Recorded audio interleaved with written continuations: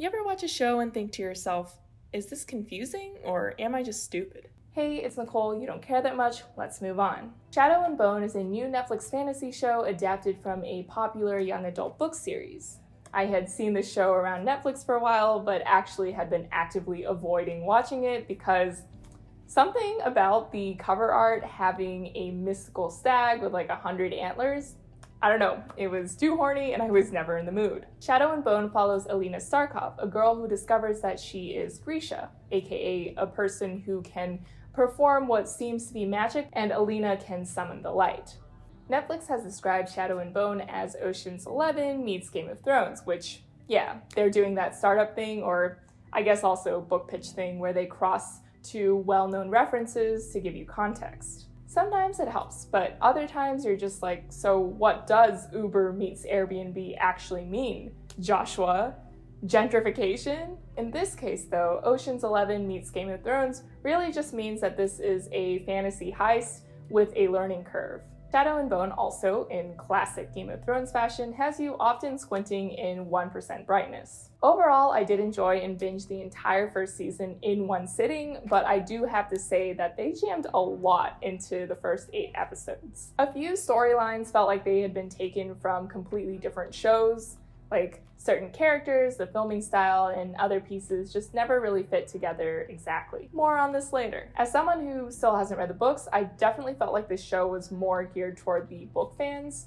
Which isn't to say that you can't like it without all that extra context. I mean, even when I was lost, I was still very interested. The fold ate your parents. Um, okay. I just mean that you can get a lot more out of it if you have read the books. The series was originally written for 10 episodes, only got 8, and also some characters were taken from separate books, which partially explains why a lot of things seemed rushed. However, even though the books and some outside context would probably fill in the gaps that this show left, I still think that the show should be able to stand on its own, so I'm going to try to evaluate it on its own merits. We start the episode with a shovel of foreshadowing. When I was young, I was afraid of the dark.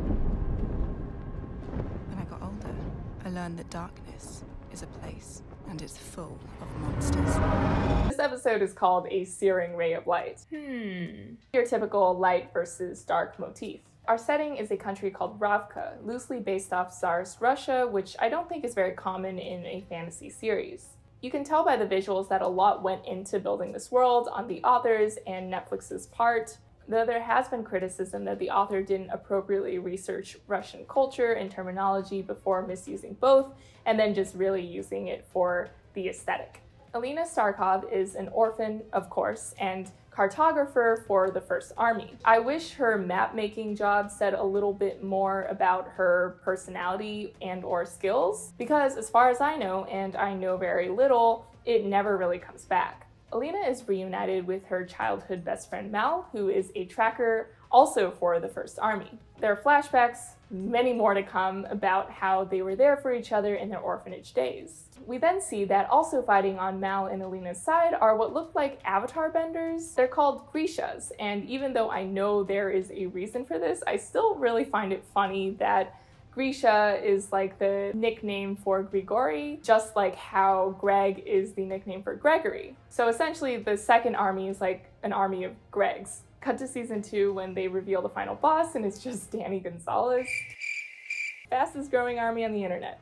Anyway, the most succinct way that I can explain the geographical context is that Ravka is at war with its north and south bordering countries. These countries are based on Scandinavia and China slash Mongolia. East and West Ravka, however, are split by this magical, dangerous, unknown area called the Fold. We are never going to see it go away. Saint who can summon the sun will destroy it. If only there was a girl who fit that job description. Couldn't be me though. Good luck. To get from one side to the other, you have to cross through the Fold. Then Mal is chosen to go on what's essentially a death mission to the other side of Ravka and retrieve some supplies. Both of them are absolutely floored. I don't know how Mal was so sure that he wouldn't get drawn. I feel like if I were in that kind of lottery, I would just always assume it'd be me. Alina volunteers as tribute in her own special way by burning all the maps that they have of the other side so that they are forced to take her with them to redraw the map. I recognize this as a way to differentiate Alina from the other cookie cutter YA protagonists as a way to give her more agency, but oh my god, she just sentenced her entire map making group to die. And that, my friends, is some main character energy. So they get on a boat to go through the folds. And at this point, I'm embarrassed to inform you that I still did not realize that this boat was going through sand and not water. Then in the darkness, their only light goes out. Couple problems here. First, I don't get why that original light wouldn't have attracted monsters. Second, it wasn't believable to me that someone would be dumb enough to light another lantern. But more importantly, why are so many people, let alone map makers, on deck in the open in the dark. The monsters in the fold start killing people, of course, and then one wounds Mal. One picks up Alina, who becomes a glow stick. One guy who hopped off the ship earlier somehow makes it all the way there on foot. On the other end of the fold, we're introduced to a separate cast of characters for the Ocean's Eleven heist narrative. At this point, as someone who had no book context whatsoever, respectfully, I am confused as hell. This trio gang, Kaz, a club owner, Jesper, a sharpshooter, and Inej, a spy, hears of a job that can make them some serious bank. Some rich guy is hiring someone to bring back something from the other end of the fold in return for a million Krug, their currency. Kaz decides to stand out from the other applicants and bring this guy something else that they hear that he's looking for a heart render. The show said to me, You don't know what a heart render is? Suffer. The trio finds that Rich Guy has a prisoner who turns out to be the same guy who hopped off that ship. We learn that heart renders are a type of Grisha that can accelerate or just change and I guess monitor people's heartbeats, which makes heart renders really good human lie detectors. Under interrogation, the prisoner says that he saw a sun summoner, aka Lightbender Grisha, destroy all the monsters with light. Three guesses who? After that guy snitches, Rich Guy gives him stitches and gives the trio until sunrise to figure out a way to get across the fold and bring Alina back. Presumably, a Sun Summoner is worth a lot of money. So, that is the first of eight episodes. We've kicked off two of the main storylines Alina's typical young adult chosen one narrative, as well as the heist narrative of the trio, which calls themselves the Crows. Let's talk the Alina storyline first and all the YA cliches and tropes that come with it. Alina carries out the Hunger Games self sacrifice.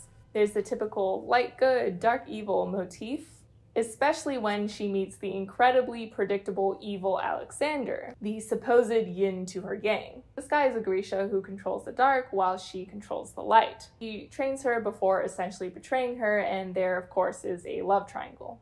The attempts to give Alina's character some agency are pretty transparent, but at least there are attempts. She presents the typical sassy, headstrong female lead that often ventures into stupidity, like talking back to powerful people and ignoring advice and then going to strike out on her own.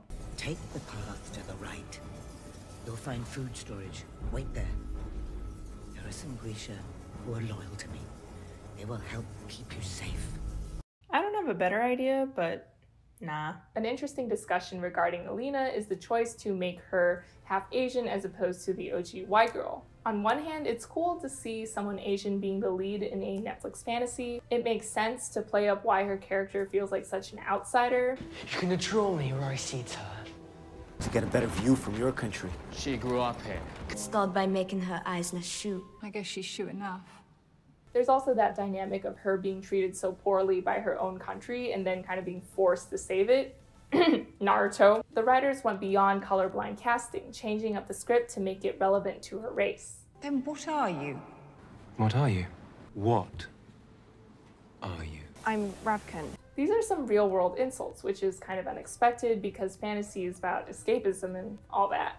It was nice to see Alina redefine herself as more than whatever stereotypes she faced. Your first words to me were, What are you? This is what I am. But she is the only one to experience this, even though there are plenty of other minorities in the cast. I'm excluding the discrimination versus Grisha because I'm not really sure that Grisha are a race. They're very diverse in appearance and can hide their powers yeah, the country Ravka is at war with Shu Han, but they're also at war with another country too. And especially if you're modeling this after real life racism, that's not something that you can just confine to a single race depending on who you're warring with at the time. I've heard people say that the show could have included more good bits about being Asian just so that being Asian isn't just like defined by racism. However, I feel like that's pretty difficult considering Alina doesn't know any Shu Han yet, I'm assuming, and she doesn't know their culture.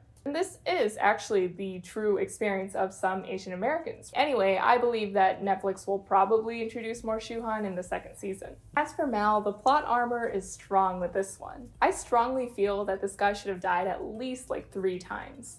You at the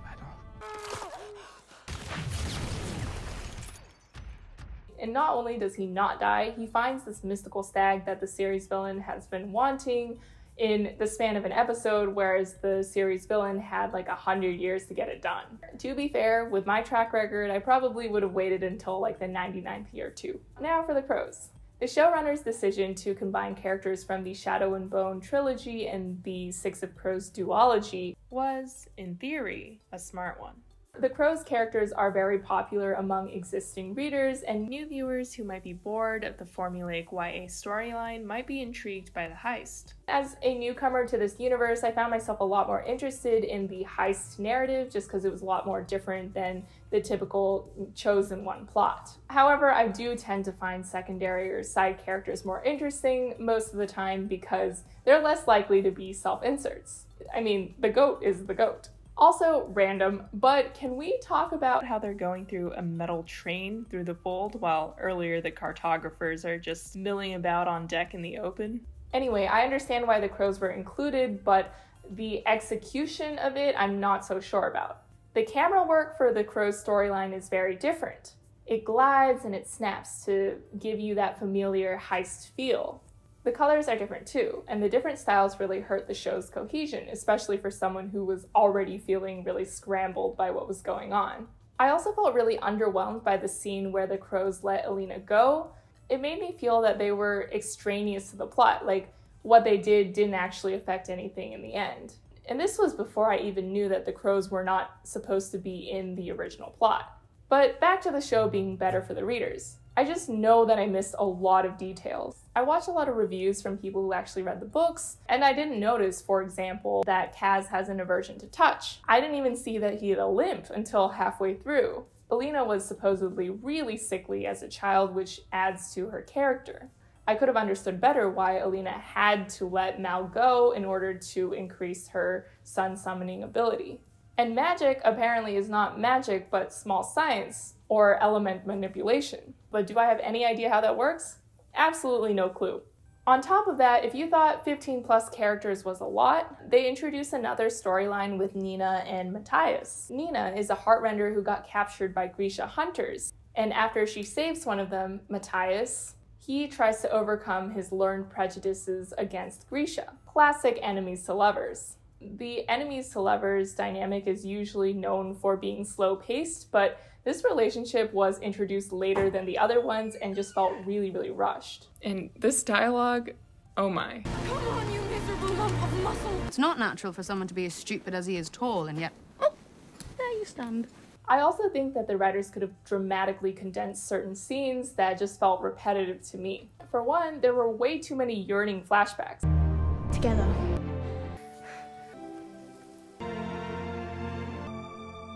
Had each other. We had each other, and that was enough. That was everything. Together. Maybe this is fan service, but man, we get it. You hold hands, and I haven't done that in years. Rub it in. In the middle of the season, they would also replay certain flashbacks so that we would get what was going on. I saw two identical dresses in the fitting room. The target is wearing one, and an Inferni about the same height and build was measured for the other. I mean, if they absolutely had to do this, it really would have helped me a lot more in the beginning. Someone who read all the books and actually knows what information will be relevant in the future is probably more able to tell you what should be cut or replaced. So let me know if something comes to mind for you. There are so many fans of the show, which is what led me to watch it, and I hear that the show is an amazing adaptation and actually improves upon the books, which is rare. Despite talking about this critically, I will be joining y'all in hibernation as you wait for season 2. Alright, it's getting dark. If you found this video worthy, please subscribe, turn on the notification bell, and make sure to fight me in the comments. See y'all.